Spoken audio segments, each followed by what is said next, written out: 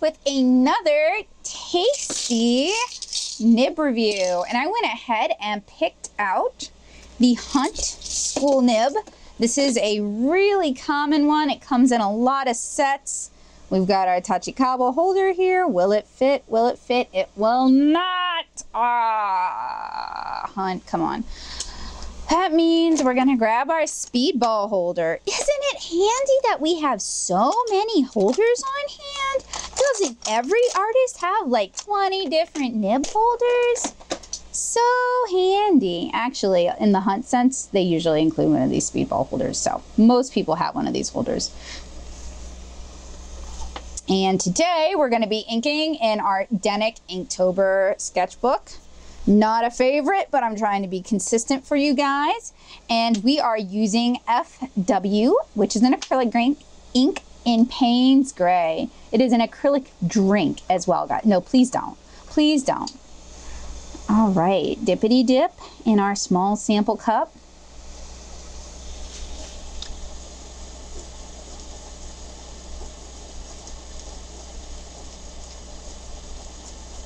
already a little scratchy on this paper, so I may actually, I don't want to, but I may actually have to do another test, which is what I do when the Denik paper just gets cut up, it bleeds a lot, it's splotchy, it's just hard for me to tell whether it's the nib or the paper. And a lot of nibs that misbehave on this paper behave beautifully on the Strathmore 500 series plate Bristol. And that is normally what I recommend people use.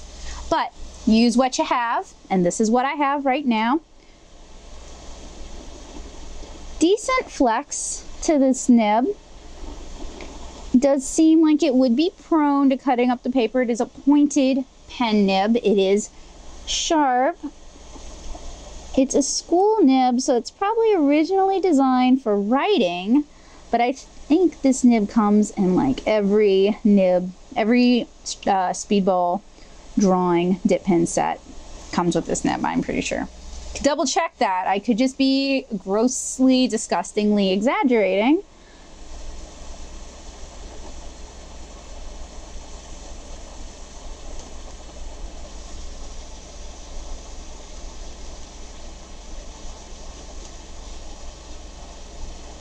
But if you're going to insist on buying cheap nibs that only come in sets and are sold literally everywhere, probably including Walmart, but definitely including Michael's, I'd actually have to double check on the Walmart.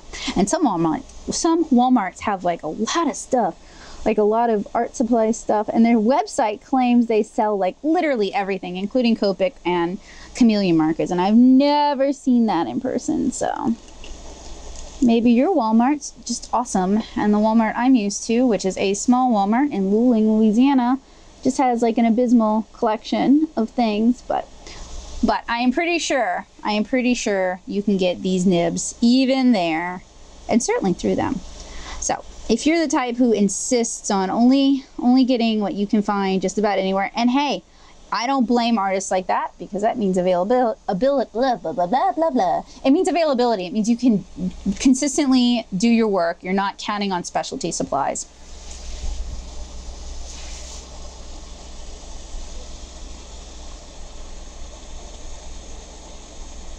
This is one nib.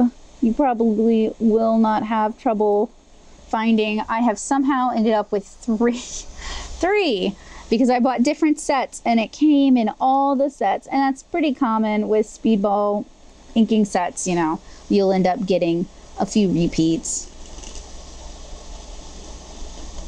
Just like you end up getting the nib holder with like every fairly sizable set. I guess I want to make sure though that everybody's got the tools they need. Which, in a way, I can respect that.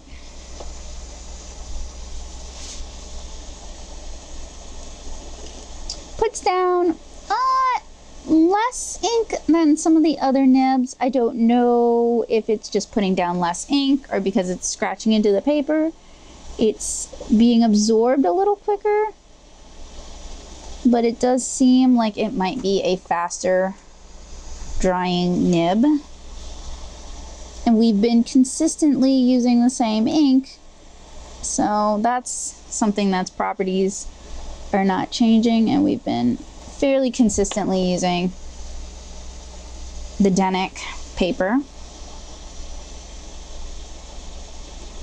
See, when we always test on the same thing. Ah, sorry guys, I, I was off camera. Wish my camera would beep or I wish you guys would say something. Be like, hey Becca, you're off camera, get on camera. Course you'll say something in the comments, but I wish you would say something to me as I'm doing it. Ooh, yeah, this one is nippity nip in the paper. And you want to get rid of those little paper nips because it basically makes your dip pen function like a marker. And it puts down a big old streak of color instead of a nice controlled line.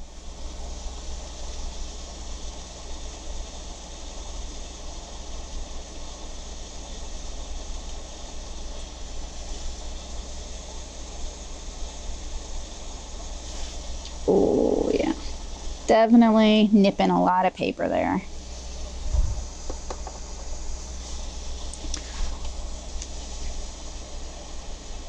Part of the problem is I'm being impatient, trying to get this inked. I could step away for two minutes, let the ink on her eyelids dry, and then it wouldn't be so much of a nippy problem.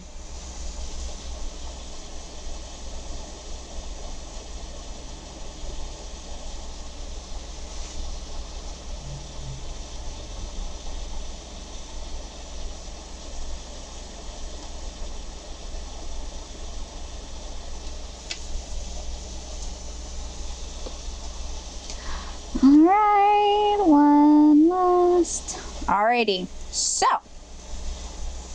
this is the Hunt School Nib. It is super commonly available. It looks like it is made of brass. There is a fair amount of flex to it, but it will nip and tear at your paper. So you do want to try and have a light hand. Try to be gentle. Um, it is super commonly available, so you should not have any trouble finding it. Both sold in sets of, I believe, two is like the smallest you can buy, the smallest quantity of nibs you can buy from most stores for hunt and speedball nibs. I believe Dick Blick sells these in packages of two, but you can also find them in larger sketching and drawing sets through Speedball. And oh, it has little fins on the side to give it a little additional flex. So I will link it in the description if you like what you see and you want to get one. You can also pick one up open stock through Paper and Ink Arts, I believe. And, uh, you know, maybe do like a big nib order while you, you're ordering your one nib. Otherwise, the shipping is just not really worth it. So Thank you guys so much for watching. As always, it has been a pleasure. I hope you guys will check out some of my other nib review videos, especially if you are using dip pens this Inktober, or if you just use dip pens in general. If you really like what you see and you want to help me make more, head on over to my Patreon at patreon.com slash nattosoup. And if you're looking for more information about inking and dip pens, head on over to nattosoup.blogspot.com. So have a great day, guys. Bye.